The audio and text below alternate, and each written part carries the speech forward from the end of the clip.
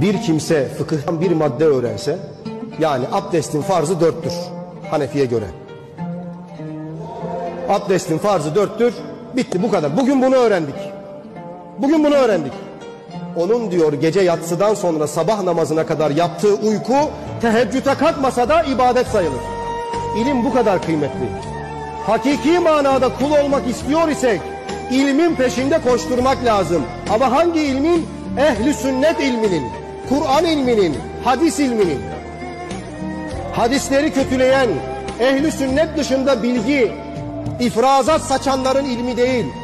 Dedelerimizden bize gelen, sahabilerden bize gelen ilmin peşinde koşturmamız gerekiyor. Allah bizi bu yoldan ayırmasın.